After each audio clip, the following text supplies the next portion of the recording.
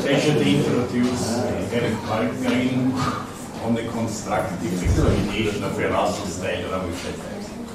Thank you very much. And uh, thanks very much to the organizers for, for uh, uh, allowing me to speak about this uh, paper which has been published in BSL recently.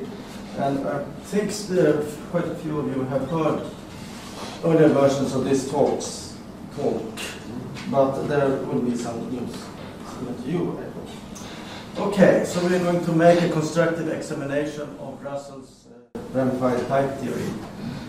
And um, of course, uh, Russell's theory from 1908 uh, was classical, and it had in the first version a ramification of, uh, of types, and of the power of types.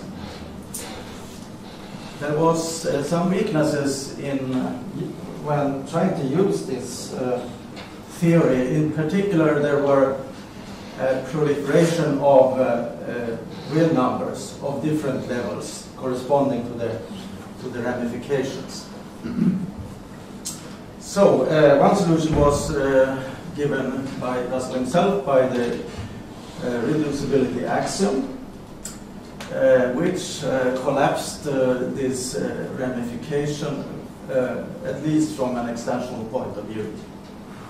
And there were several improvements by by taking away this ramification by, by, by Ramsey and finally Church and others. Um, so the uh, question is, can we save uh, the original idea uh, of Russell's uh, ramified type theory and still have it uh, useful for formalizing mathematics? Well, if um, uh, well, if we go to intuitionistic logic, take a completely different philosophical point of view, perhaps, uh, going from logicism to intuitionism, uh, we can do this in, in fact. We formulate this ramified uh, type theory of types, type theory, on the basis of intuitionistic logic. And we introduce a different reducibility axiom, which will be weaker from, from uh, intuitionistic point of view, certainly, but with classical logic, it is actually equivalent to the original one. So we call this uh, new theory intuitionistic ramified type theory. And how do we test or examine it for, for constructiveness? And one, one method is to interpret it in, in a, constructive type theory, like Martin-Löf type theory. And we will, I will indicate how this is done. And uh, th this theory is quite quite powerful. It supports the development of Bishop-style constructive mathematics. Uh, I would guess that uh, Bishop Bridges' book would be uh, possible to formalize uh, using such a system because it's very similar to, some, uh, because its consequences are similar to, to other systems, as we will see. Okay, and also another purpose uh, is to look for a natural notion of predicative topos. So if Church uh, intuition, if the intuitionistic version of Church theory corresponds to toposes, this could be a suggestion for predicative toposes. There are many suggestions for this already. Uh, okay, so that's the main main points here. Uh, here's an overview. Uh, first, we look at something which is well known for many of you here. Uh, what the issue of predicativity is quite different if you view it from a classical or intuitionistic point of view. Uh, yeah. So, uh, let's uh, see the original problem. Uh, that was uh, the unrestricted comprehension by Frege. From any property, you can form the set of elements satisfying this property. And of course, you get Russell's paradox uh, immediately from this. Uh, so that's uh, too impredicative. Uh, there's another one which we still keep in set theory, that's the separation axiom. And of course, this has uh, some well-known problems if you allow this to quantify over subsets of A. Again, a vicious circle, uh, which which is predictive in. On the other hand, functions. Uh, if you have sets x and y, do all functions uh, from x to y exist as a set? In classical systems, this is um, equivalent to assuming the power set by characteristic, characteristic functions, of course. Uh, in intuitionistic system, this is not not so serious uh, uh, because that characteristic functions would only represent the decidable subsets. So in, in uh, realizability interpretations of all kinds, uh, you can see that this forms a, a, set and there is no predicativity problem in, at all. Okay, so Russell's theory of types. Uh, I'm taking this 1908 paper as, as the introduction point of that, that must have been worked out uh, earlier. There, okay, so uh, this is quite uh, difficult to read for modern readers, so there have been uh, rational or modern reconstructions of it using lambda calculus notation, and one very good paper about this is by Kamareddine, Laan, and Nederpelt, Types in Logic. Uh, uh, so uh, we will use the reconstruction. So what is uh, what is the simple first what is Church simple type theory? Uh, you have a type of individuals which are the natural numbers. For types A and B you can form the product type. And for any type you can form the type of propositional functions on A uh, yeah, so that's the, the simple, simple types. And for any proposition, you can introduce uh, a propositional function which would correspond to an abstraction. Uh, uh okay, so in this case, there is no restriction on this proposition, so we can make this impredicative uh, uh, constructions that we had in the first warning um, page. Right, so this is, should be rather well known. Uh, so the ramified types uh, were introduced by, by Russell uh, to avoid vicious circles of this kind. Uh, it's a stratification of the propositions. Uh, so for each type, we have a stratified sequence of power sets uh, like this. And you can imagine if you start with natural numbers or ra rational numbers here, uh, there might a priori be different uh, levels of, of, real numbers. And, and, that's quite unsatisfactory. You want the, the real numbers to be to be uh, complete and uniquely unique up to isomorphism. Okay, uh, so what is the formation rules for, uh, for, introduction rule for sets in this case? Uh, well, it looks similar but we must take care that we never quantify over any higher or equal uh, to k power sets in this uh, formula. So it's required that uh, this contains only quantifiers over individuals or over power powers where n is less than k. So it quantifies over objects already constructed or given. So this is a predicative uh, system. All right. So uh, we introduce ramified type symbols by, by adding this ramified version of the power. And otherwise it looks the same as the, the, the simple type here. Okay, so uh, here are examples of ramified types.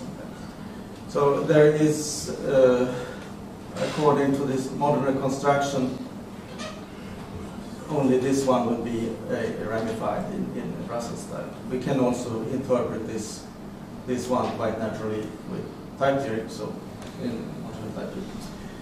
Okay, so uh, Yes. So that's how it, how it looks. And uh, then you are looking for the formulas, and uh, you need only to take care to keep track of, of the level or the uh, level of the power types here. Uh, make sure that the, this is lower than or equal to n in, in the class formulas. And the restricted uh, comprehension principle then looks like this. So for a, a formula of level of n, this is uh, a set in uh. Okay. Uh, and uh, well, the reducibility axiom of Russell can be formulated in this way that we can, for any set of level n, power, any, any set of level n, subset of a of level n, there is a subset of level 0, which is extensionally equal to, it. So it's a collapses all these stratifications. And yeah, so one may as well consider uh, simple type theory as was argued closely after. Okay, Russell's theory still has some distinctions between the intension, on the intensional level, uh, between uh, these uh, uh, subsets which can be of philosophical interest.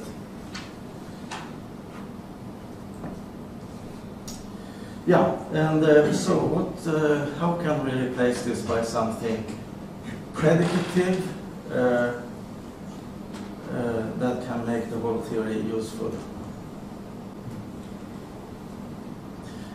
The idea uh, will be uh, essentially to to allow this only for functional relations, not not for subsets, not for total relations, but precisely functional relations. Uh, and we can motivate this by, by using the constructive axiom of choice, actually. Uh, and one theory in which this is uh, valid is, is Martin-Löf type theory. I will not go through it, uh, uh, of course. Uh, we take a standard formulation of Martin-Löf type theory. the important thing is that we have a cumulative hierarchy of type universes uh, contains some basic types to begin with. Every level is closed under sigma pi, and those will be the quantifiers. Uh, yeah, I will be brief about this theory here. And we have the, here's the translation between um, uh, logical notions and theoretic notions. So we, we pass freely between these two. Uh, an interesting feature is also that we have infinite disjunctions and conjunctions where this can be can vary today. Okay, so we will use this uh, for, for our interpretation, the theory. Uh, it has, as said, universes. Uh, and yeah, here again is the rules. So, uh, what will we use to interpret the types? We will go to, to setoids. These are basically the, the notions of sets uh, used by Bishop in his uh, seminal book. So a setoid uh, is simply a type together with an equivalence relation. And uh, functions uh, between such should respect the equality, we call them extensional functions. So, um, when we base this on Martin-Löf type theory, it forms a good category for constructive mathematics. It supports several important principles like the axiom of unique choice, dependent choice, Aczel's presentation axiom, etc. And we will also need stratified setoids. Uh, so this looks uh, that. Uh, so there are two things determining uh, that are specified with the setoid. You have to specify the universe where the type lives in, and the universe where where the equality condition lives in. So again, we use propositions as types to this. And essentially, uh, we'll use uh, two things here. When these are equal, we call them setoids of level m. And when uh, the type level is one higher, then we call it a classoid or name, m classoid. So these classoids and setoids have the, the replacement property uh, as characteristic differences. Okay, so now I see. So, yeah, so uh, if you start here, we have standard types, they are zero setoids. The Aczel model of CZF forms a zero classoid, and the propositions of level n, logical equivalents, are n classoids. So we will use them in, in our interpretation of the ramified theory. So we can then consider extensional propositional functions of level n as functions from, from a setoid, which is extensional, into these propositions of level n. And that's an n classoid. So it, it is not an n setoid uh, if it were we have simple here. All right. Okay, and then you have to uh, go through the usual uh, setoid uh, um, troubles. Uh, uh, introduce all the constructions. Uh, they look a bit complicated, but, but already quite straightforward. And then in this uh, modeling, we will have to count uh, the, the, levels rather carefully to, to obtain the, the, proper actions. Okay, so I will not go through, through this. Uh, so here's the model then of uh, the ramified types. You start with the basic types.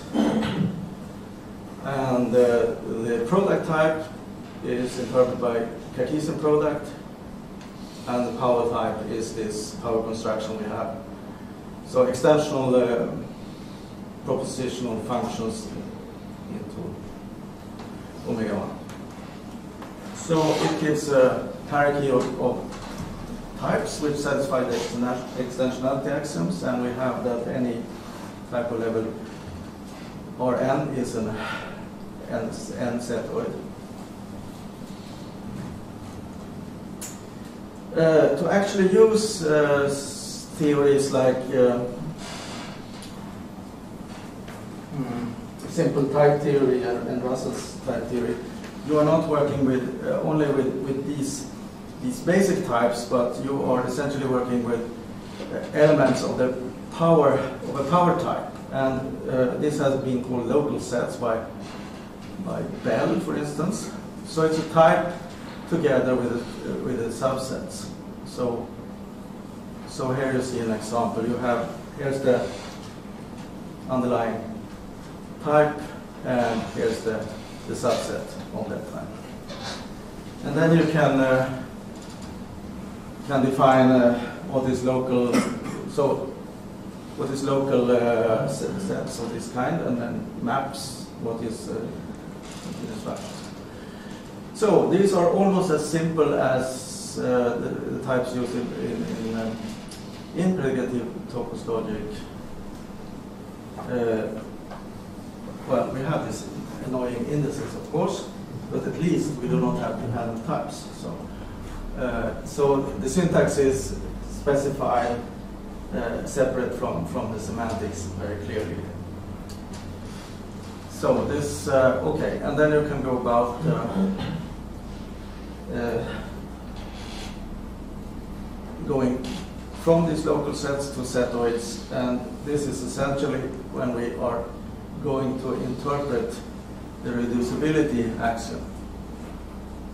So we take uh, two local sets and uh, we have a setoid which represents all these maps. Uh, indexed by okay, indexed by, by these functions. So that's the graph corresponding to f. So by the unique axiom of unique choice, we can actually find for any uh, local set map some uh, function that using the axiom of unique choice really in the background we use axiom uh, the axiom choice of type theory Okay, so in a sense, we have reduced this f here to, to, uh, to this level. And putting all this together, we can have a, a reducibility principle for, for functions. Now this is the main axiom. Uh, so for, for any two local sets, remember they consist of an underlying uh, uh, type uh, together with a, a, subset of that. And they both have, have levels, right? Uh, well, then we can find some level we can compute it from a, the levels of A and B, so that for any map on any level, there is a map G at uh, level L, so that they are extensionally equal. So this would not uh, work predicatively in, in a classical setting as, uh, well, we are, we would have this reducibility for characteristic function, and that would give you the full comprehension principle. So it's essential to use intuitive logic in this case, and we can go on uh, do a lot of standard constructions even in this. Uh, some, uh, yeah. One trouble is that you have always to, to keep uh, track of, of the levels, and you have to make some calculations perhaps to show when uh, from M and N, if they are sets and a sub and an equivalence relation, where is the quotient subset? Okay, you can calculate it there. It's, it's at level max n k m n k. Okay, so it goes like that. It's a bit troublesome. Okay, so now the intuitionistic ramified theory. I will summarize it here. It's uh, defining axioms for ramified with comprehension terms as we had before. There's an ex extensionality axiom, there is full induction arithmetical axioms, and there is this reducibility for function spaces. And yeah, no uh, vicious impredicativity. Uh, and this uh, last scheme is yeah, it's benevolent thanks to the BHK computation. All right, so this theory is presumably not so strong uh, as it stands here. Uh, something like arithmetic, perhaps. Uh, a question, natural question is, is the background model is the Martin-Löf type theory the, with the infinitely many universes, and that's uh, known to be of strength gamma, gamma naught. Uh, so what uh, further action should we add to this theory to, to reach the same, same strength there? And one suggestion uh, I think is one can get from uh, Rathjen's paper on, uh, on the strength of the superuniverse, where he considers a, uh, an intuitionistic uh, I or a uh, of replacement. Uh, we haven't investigated this, but it may, may, may well be giving us these axioms that are needed to, to reach. It would be very nice because it's, it's a, a exhausted gamma naught with some amendments that would that would fit. Right, okay, we can consider uh, some uh, additional uh, axioms that are true. Actually, fullness is also true. Lennart Wallenberg asked about this. Uh, one, well, it doesn't give as good numbers as the as the exponentiation. that's the problem. We can have dependent choice, and we can extend it with generalized inductive definitions if we start with the type theory, which has W types. Uh, yeah, because it looks rather scary and the choice, a lot of indices, and you have to do some computation of the levels here. Uh, yeah, and even more scary is the inductive definitions and axiom. So you have these uh, infinitary rules. Uh, you're considering defining subsets that are closed under these infinitary rules, and you have to specify all the components with these local sets and quite complicated uh, calculation of the where this uh, actual closed set appears. And we call this the principle of generalized definition. It can be modeled by, by W types and continuous operators and the like. I will skip this. Uh, right. Yeah, here's the exponential construction also. Uh, calculations. Yeah, um, I have a student working on uh, on studying the, these axioms and see what what kind of notion of predicative topos you might obtain from this. And uh, actually, he has shown that it is, is at the presentation. There is no paper yet, uh, but it, it forms the, the natural notion locus, the natural category of local sets forms a locally cohesive closed pre-topos with W types. That's uh, Van definition of predicative topos. Uh, right. Okay, so uh, how, how much time do I have? It's run out, Ellie. Run out, yes, okay. Right, okay, sorry. Okay, so what's the pros and cons of this uh, theory? Uh, right, uh, well, here's a list of it. Uh, it's similar to topos logic, predicative and ramified. It is uh, rather straightforward to model and doesn't require the W types. It has a simpler type structure than Martin type theory. Uh, yeah, and uh, well, there are drawbacks also that we cannot handle. Um, well, we we do obviously not treat big universes or things like that. Um, so, uh, a question uh, is, uh, can we do this theory in modern proof system? This uh, uh, two, two slides. So there are two, two, uh, two well-known uh, assistants, uh, proof assistant, the Coq system and the AGDA. They all use, both use infinite hierarchy of type universes, and uh, each universe level is closed under strong principles for inductive definitions. Uh, so they treat these uh, levels in, in slightly different ways. Uh, and if you look in, in Coq in, with the modern, more modern version with the uh, universe polymorphism, you can you can write down something like this, which look completely uh, illegal. Yeah, but it finds out that you mean actually different type levels here.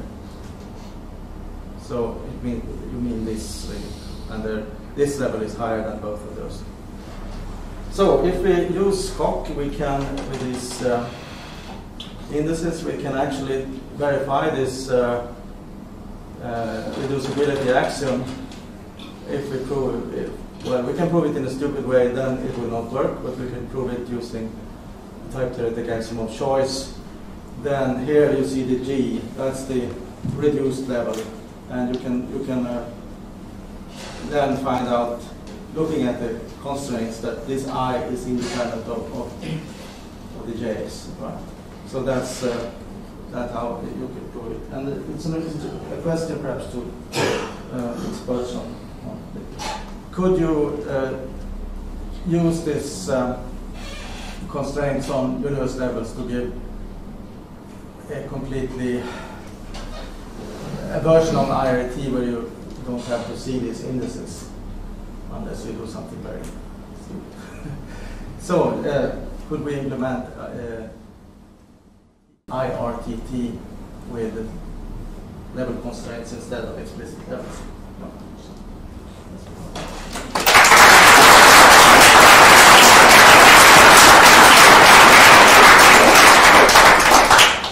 So, questions? Max?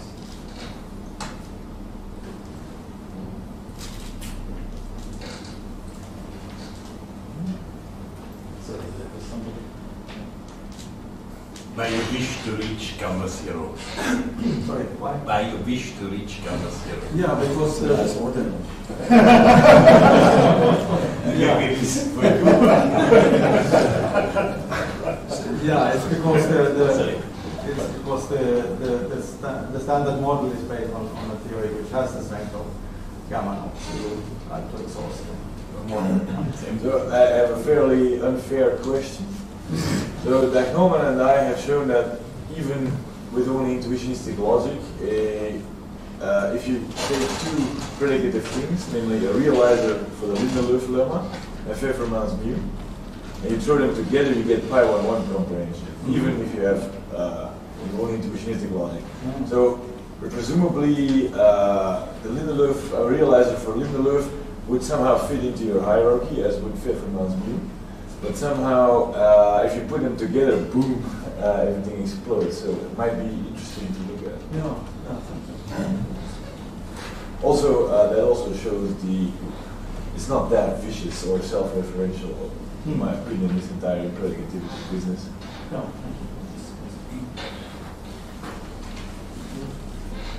Erik, in, in Russell's original system, it was intensional, and then the reducibility introduces some amount of extensionality because the reduced function is only essentially equivalent to the original one. But in your system, you're putting in extensionality right from the start.